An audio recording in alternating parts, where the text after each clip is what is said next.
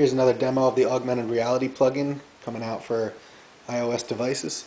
So you can see we got here live video coming through, mapped to a texture 2D as always. We have orientation support in there now.